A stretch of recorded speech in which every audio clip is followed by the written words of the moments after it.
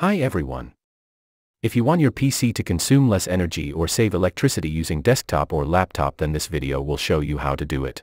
This is a setting which will reduce energy consumption in computing. So, come to start. Control panel.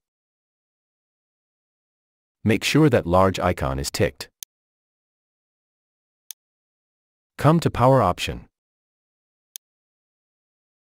Here you can see two options are there. Balanced and high performance. Both uses almost same energy or electricity. So, click on create a plan. Come to power saver. Next. Create. Finally chose power saver. And from now on, your PC will use less energy where possible and the electricity will be used less than earlier. This is very useful when you are traveling and carrying laptop with you.